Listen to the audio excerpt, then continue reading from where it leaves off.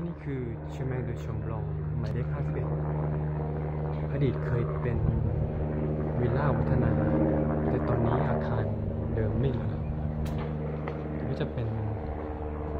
ถูกสร้างเป็นแฟลต